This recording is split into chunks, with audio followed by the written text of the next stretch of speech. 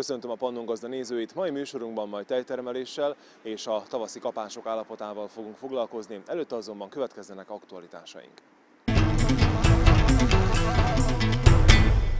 A szerb kormány tej és a tejtermékekben található aflatoxin szintet a nemrég visszaállított kilónkénti 0,05 mikrogramról 0,25 mikrogramra növeli. A rendelet múlt héten csütörtökön lépett hatályba, és december 31-ig lesz érvényben. Július 1-én Snezsana Bogoszávjevics mezőgazdasági miniszter az európai előírásokkal összehangolva 0,5-ről 0,05 mikrogramra csökkentette az aflatoxin szint megengedett mértékét. Ezt követően múlt csütörtökön a megengedett mérték 0,25 mikrogramra emelte. A Danas napilap értesülései szerint a mezőgazdasági miniszter előzőleg egyeztetett Alexander Vucic miniszterelnökkel és az egészségügyi minisztériummal. A döntés hátterében az áll, hogy a sok tejtermelő nem tud alkalmazkodni a szigorú európai mércéhez. A tejtermelők ugyanakkor nyilvánosan azt állítják, hogy megfelelnek az európai követelményeknek. Újabb kérdéseket vet fel, hogy a kormány miért növelte a megengedett aflatoxin mennyiségét, ezzel utat nyitva a tejbehozatalnak azokból az országokból, amelyekben nincsen hatályban az európai szintű szabályozás. A legnagyobb tejtermelő képviselői időközben megállapodtak a mezőgazdasági minisztériummal, hogy legkésőbb 2015. január 1-ig az aflatoxin szintet leszorítják a kívánt 0,05 mikrogramra. Milán Prostrán agroközgazdász elemző szerint jelenleg a 0,25 mikrogrammos határérték jobb megoldás, mint a 0,05 mikrogrammos. Branislav Bugárszki tartományi megbízott önzigazdasági titkár múlt héten élesen bírálta és értelmetlennek nevezte a kormány döntését. Arra szólította fel a mezőgazdasági minisztériumot, ha már erre a lépésre kényszerült, hozza nyilvánosságra, hogy az ország mely vidékein ütötte fel ismét a fejét a gombafertőzés. Azt is követeli, hogy az államvezetés tegye közzé a külföldről behozott tej mennyiségére és aflatoxin tartalmára vonatkozó adatokat, hogy a folyamatos ellenőrzések és megfigyelések révén megvédhessék a hazai termelőket. Gorantál Szitja köztársaság járó tartalékok igazgatóságának igazgatója kijelentette, hogy a raktárakban elegendő mennyiségű gabona van, így kormánynak az árutartalékokra vonatkozó éves tervében, amelyet még januárban elfogadtak, nem szerepel a búza felvásárlása. Másrészt a gabonapiacon nagy a bizonytalanság, mivel az aratása végéhez közeledik, de nem tudni, mekkora hozamra számíthatnak a gazdák, és milyen minőségű a búza. A terménytősdén a kenyérgabona ára hétről hétre emelkedik. Snezsana Bogoszávjevics Boskovics mezőgazdasági miniszter szerint az idei búzatermés akár 20%-kal alacsonyabb lehet.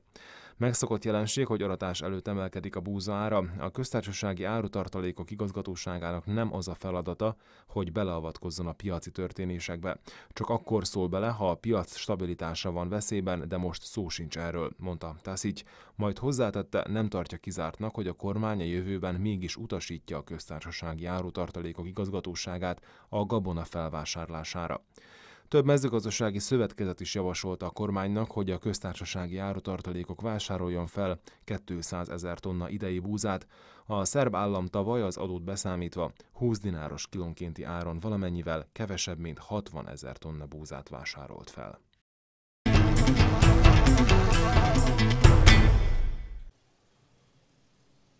A bácskai becses védjegyet a Tompán és a magyarországi Kelebián tevékenykedő gazdák igényelhetik.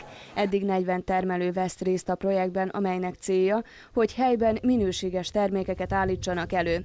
A védjegyel megkülönböztetett termékek biztonságosak, hiszen azokat folyamatosan ellenőrzik. Elsősorban a belső piacra fókuszálunk. Próbáljunk egy szemléletformálást elérni ezzel a védjegyrendszerrel, hogy a, a tompaiak a, a helyben megtermelt termékeket vásároljuk. Ne a nagybaniról hozott viszonteladóktól, hanem a helyi termelőktől vásárolnak, hiszen az friss, ugye az uniós előírásoknak, vagy Kínában megfelelő rövid ellátási láncon keresztül érkeznek a településre ezek a termékek, piacra pontosabban, és itt elsősorban élelmiszerről beszélünk. Ezzel a gazdák extra jövedelemhez juthatnak. A két önkormányzat célja, hogy a tanyán élő embereket aktív szereplővé tegyék a városokban.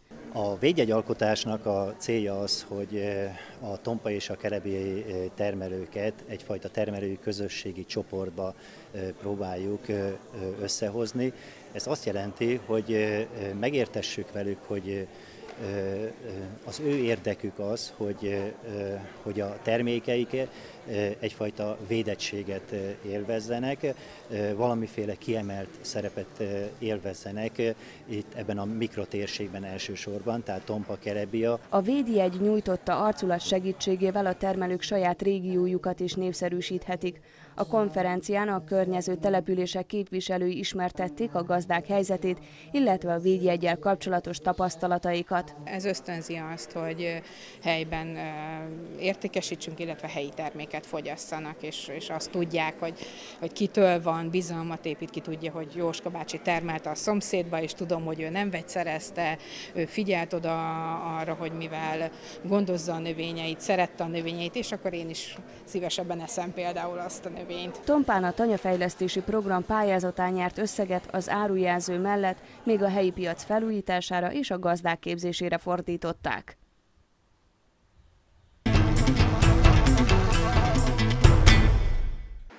A Pannon gazdában már régen foglalkoztunk tejtermeléssel, ezt az űrt szeretnénk most pótolni, riporterünk Tordán járt.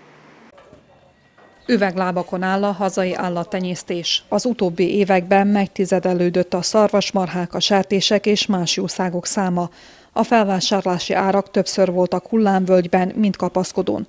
Hasonló a helyzet a tejtermelésben is. A nyers tej ára szinte változatlan maradt, a gyárak pedig egy tolvonással ellehetetlenítik a kistermelőket az érvényesüléstől. Azokban a családokban, ahol generációkon át volt állattartás, még van remény, de egyre többször felmerül a jószágállomány felszámolásának a lehetősége. A Tordai Detki család is hasonló helyzetben van. Szarvasmarha tenyésztéssel hát mindig is szoktak gondok lenni. Egyedül az a jó benne, hogy tudjuk, tehát hogyha van eladó, 5-6 darab, vagy talán több, akkor kicsit rakásra tudjuk rakni a pénzt, és akkor tudjuk valahol fektetni. Tehát ez ilyen hullámzó ágazat, valamikor nagyobb a kereslet rá, valamikor pedig nincs olyan nagy kereslet. A teheneknek a borjait azokat meg szoktuk hagyni. Ezelőtt egy pár évvel akkor még intenzívebben foglalkoztunk bikahízlalással, azt most egy kicsit lecsökkentettük, mivel nincs annyi hely, több egy kicsit a tehén, tejtermelés mellett még egy kicsit a békaízlalás. A gazdaságon akkor bezárult a kör. A növénytermesztést párosítják az állattenyésztéssel, így a terményeket a húson is a tején keresztül érdemesebb értékesíteni? Hogyha azt az árat számoljuk, amelyen kitermeljük, tehát legyen az a száraz, szálas takarmány, vagy pedig a szemes takarmány, van rajta szép jövedelem, de viszont, hogyha az értékesítési árat számoljuk, akkor pénznél vagyunk. A tehén az nem olyan, hogy az ember felszámolja, hogy egy vagy két év alatt vissza tudja állítani az állományt. Most még a gyerekek járnak iskolába, az asszony mindig azt szokta emlegetni, hogy ez a havi jövedelmünk, tehát ez a havi fizetésünk. Tejfölvásárlásnál van olyan probléma, hogy limitölve vagyunk, tehát nem tudjuk átadni az összmegtermelt tejet, felhasználjuk túrú, tejföl, sajt. Az önök istáló átlaga mekkora és milyen az állatállomány? Vörös holland és fekete holland. Van egy-két ilyen hazai tehén, szimentális. Tejnek az átlagával, tehát azzal mondjam azt, hogy meg vagyok elégedve. 18 liter a, az átlag és az egészségi állapot is a jószágoknál megfelelő. A gyár nem csak a mennyiség felé támaszt követelményeket, hanem bizony a tej minőség felé is hogyan elérni és megtartani a jó minőségű tejet. És milyen a jó minőségű tej? Több mindenből tevédik össze.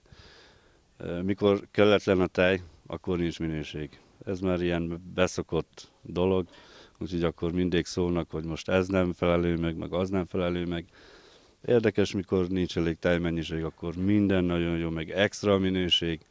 Tehát tudjuk mink, hogy milyen takarmányt etetünk fel, és tisztában vagyunk mink avval, hogy az a tej milyen minőségű. Ez egy, egy mezőgazdaságival foglalkozó vállalkozásnak minden hónapban a betevő, a minden hónapban a számlákra és a, a két iskolás gyerekre a pénz. Ez az egyedüli az, amit minden hónapban megkapunk.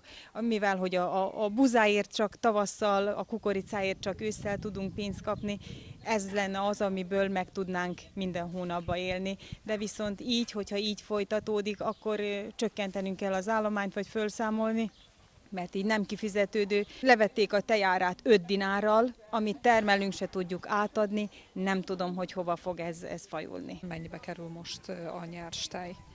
32 dinár 43 parát kaptam érte az utolsó kifizetésen, ez természetesen a, a prémium nélkül. A gazdaság fennmaradásától nem kell tartani, van utánpótlás, hiszen a két fiú megalapozott tudással rendelkezik. Ők már kicsi koruktól kezdve besegítenek a gazdaságba, úgyhogy őket már nem igen kell belenevelni, mert ők már ezt csinálják, hozzá vannak szokva ehhez a munkához.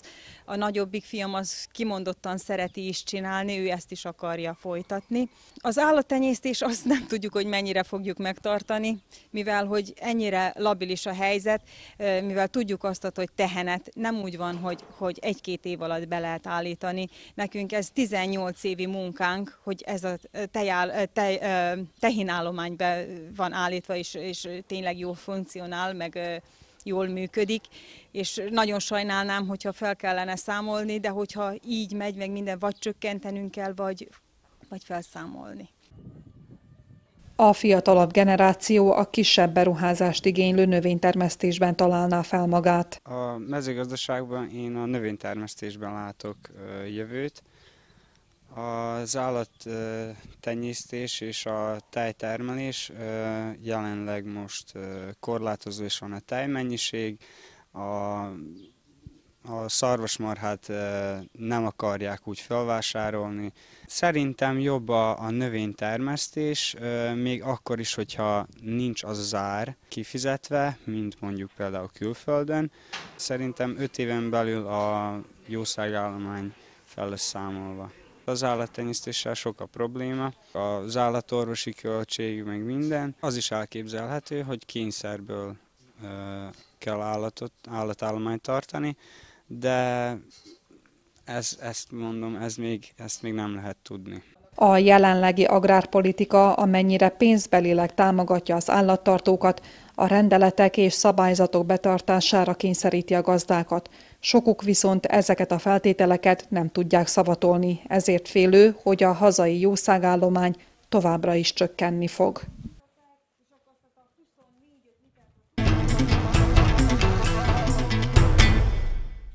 A bőséges eső és a megfelelő hőmérsékleti tényezők nagyon-nagyon jó hatással vannak az idei évben a tavaszi kapásokra, köztük a napraforgóra, a kukoricára és a szójára. Az átlagos napi hőmérsékletek és a rendszeres csapadék kedvez a kapás növényeknek, illetve a napraforgónak, a kukoricának és a szójának. Vajdaságban közel 1 millió hektáron van kukorica, 170 ezer hektáron szója és 140 ezer hektáron napraforgó. A növényzet kitűnő, mondják a gazdák, de hozamjóslásokban nem bocsátkoznak. A múlt héten Bánátban, Magyar Csernyén jártunk, ahol a növényzet állapotáról beszélgettünk a termelőkkel. Csak be kell, hogy tartsuk a vetésforgót. Gondolom három kultúrát szoktunk vetni, egy kalászosokat, búzát, napraforgót, kukoricát, amit három részre osztok is el, tehát előre itten nálunk sajnos sosem nem lehet tudni, hogy mivel is jár jó majd a gazda, úgyhogy hát továbbra is vetünk napraforgót. A kukoricát ugye azt a tárolni szoktuk, majd tavaszi befektetésekre szoktuk értékesíteni, és akkor hát egy ilyen őszi pénznek ugye az jó jön, hogyha kifizetődő is, de nem mint tavaly. Tavaly sajnos nagyon kevés volt a zára, mégis úgy döntöttünk, hogy csak továbbra is vessük az ön parcellája milyen képet mutat? Az én parcelláimon is már virágzásban vannak. Van egy kisebb rész, ami későn sikerült elvetni, tehát ez a ilyen állami földben van, ilyen későn volt a föld árverés, licitálás, és akkor azt nem tudtam hamarabb bevetni, de hát az is szépen fejlődik. Mely haszonnövény igényli a legkisebb befektetést, és mely haszonnövényen van a legreálisabb jövedelem?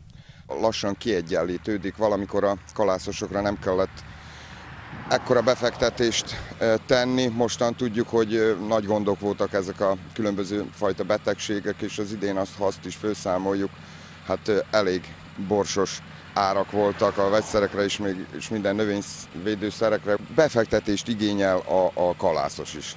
Kukoricáról számítunk a legtöbbet. Ugye, hogyha egy jó árat kibírunk várni, és később értékesíteni, március-április tavaszi vetésekre, mikor kell a pénz, hát akkor van, mikor sikerül jó áron eladni, de hát van, mikor nem. Tehát előre nem tudunk soha semmit, ez a nagy baj. Jó hónap jöttem el az utóját, úgyhogy hát az idei jó kinéz, reméljük, hogy lesz termés jövőre is. A környéken valamikor a magtermesztésből éltek meg a termelők. Mára ez az ágazat is visszaszorult, és így nagyobb területen a kisebb hasznú szántóföldi növények maradtak a vetésszerkezetben. Nagyobb gépekkel rendelkezek, kombányjal, úgyhogy 80 hektáron gazdálkodok, és körülbelül mindig egyharmada buza, egyharmada kukorica, és egyharmada napraforgó, és a vetésforgót azt betartom. Úgyhogy három évenként változik. A kukorica és a napraforgó milyen állapotban van? Eddig még nagyon gyönyörűnek látszik. Jóformán minden nap esett az eső, zöldek, még egy sárga levele sincs a kukoricának, úgyhogy csöves, két cső, cső, három cső is jön egy ilyen. Még vagyok elégedve. Hát ugye a zsák mutatja meg a végén, hogy milyen termés lesz. A szakemberek figyelmeztetnek a betegségek és a kártevők támadására, de aki helyes vetésváltást alkalmaz, kisebb a kártétel. Nem észleltem. Én gondolom, hogy azért, mert a vetésforgó tervet betartom, és nem megy soha kukorica kukoricára, vagy napraforgó napraforgóra, hanem ilyen sorrendben buza, kukorica, napraforgó. Ezen a 80 hektáron rengeteg befektetés, rengeteg utána szaladgálás, munka, és hát ilyen árak mellett nem sok marad. Az idén maximálisan befektettem, műtrágyába is mondjuk rá, és a buzáim úgy néztek ki, hogy 40 méteren alul nem lesz egy parcella se holdanként. De sajnos nem így sikerült. Arra gyanítok, hogy amikor a buza viasz érésbe volt, akkor jött az a plusz 36 fokos meleg, és egyszerűen összerántotta a szemet mert a kalászban voltak szemek, csak összerándultak, és nem, nem kaptam, nem vagyok megelégedve az áron, meg hát főképpen. Ahogy a gazdák mondják, a növények még sokat kint alszanak betakarításig, így nem érdemes hozamok jóslásába bocsájtkozni. Remélni kell azt, hogy nem lesz ítéletidő, így az őszi termés jövedelmet biztosít. A bőséges eső és a megfelelő hőmérsékleti tényezők nagyon-nagyon jó hatással vannak az idei évben a tavaszi kapásokra, köztük a napraforgóra, a kukoricára és a szójára. Köszönöm, hogy ismét velünk tartottak, ne feledjék, hogy egy hét múlva is lesz Pannon gazda, és lesz majd Agrárvilág és a Pannon Rádióban vasárnap délelőtt. A viszontlátásra!